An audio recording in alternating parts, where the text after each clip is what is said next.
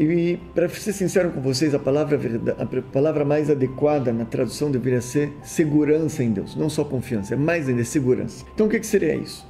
Em hebraico você tem dois conceitos, duas palavras. Um, emuná, o que, que é emuná? Fé.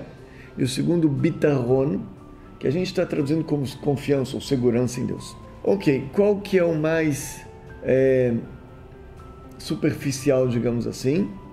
A emuná, a fé. Você começa com a emuná, com a fé. Você trabalha ela até que ela vira uma segurança. Tanto é que emuná começa com a letra Aleph, é o início. Bitahon com a letra Beit é a segunda letra, depois do Aleph, é o segundo passo. O que é fé? Fé é o seguinte, eu acredito em Deus. Eu li uma vez na internet, um tempo atrás, que tinha um pastor do PCC que abriu sete igrejas. Pastor do PCC, eu fiquei, mas como assim? Se o PCC é religioso, acredita em Deus, por que que que comete crime, por que, que rouba, por que, que mata, por que, que. Não dá para entender. Se ele acredita em Deus, tem um pastor, abre igrejas, então como é que faz aquelas barbaridades? É? Não combina. Então vou explicar, porque isso é fé, não é confiança. Fé em Deus é algo superficial. É algo que você pode acreditar em Deus, ao mesmo momento você fazer alguma coisa errada, contra a vontade de Deus. Pessoa que acredita em Deus acredita mas ele bate no irmão, ele maltrata a esposa, ele fala, ele xinga a esposa, ele maltrata a mãe, não respeita os pais. Mas acredita em Deus. Então ele tem fé, mas a fé dele não implica na ação prática. Porque fé é algo superficial ainda. Na liturgia, na liturgia não, na, na, na expressão racídica a gente usa a palavra makif, algo assim, tá? É, em cima da cabeça, transcendental, essa é a palavra que eu queria buscar. Não é de uma maneira é, dentro da pessoa, não é consciente, é fé. Confiança em Deus ou segurança em Deus é diferente.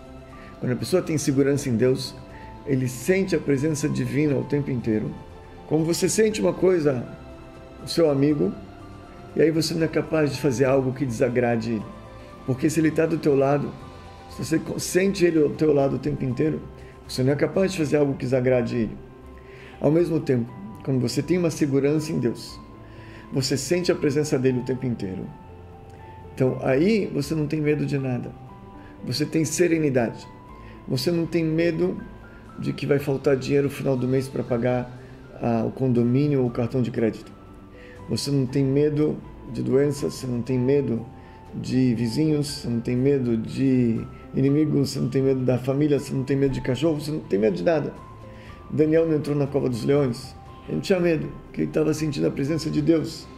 Quem teve medo do Daniel foram os leões, porque ele tinha a presença de Deus junto com ele. Uma pessoa que sente isso de maneira profunda, ele tem serenidade na vida dele. Ele tem paz em qualquer situação que seja. Não tem medo de absolutamente nada.